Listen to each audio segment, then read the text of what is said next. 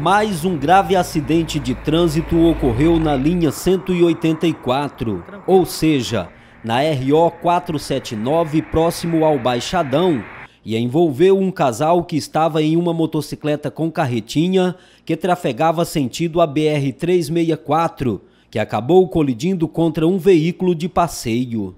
Com o forte impacto, as vítimas foram arremessadas de cima da motocicleta e sofreram graves ferimentos pelo corpo.